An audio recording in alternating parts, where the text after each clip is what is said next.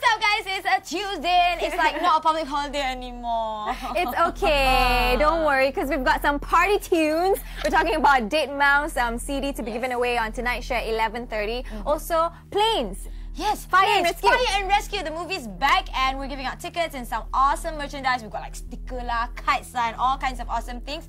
And also, if you like Thai food, we're Yeah. giving out voucher for you to go and eat at My Elephant. Yum. I just got back from a holiday and then all of a sudden there's this new guy riding the board. Who Ah, we hire him specifically just to um, beautify our chalkboard. I see. Ah. Dude, you got nice hair. Say hello to the camera.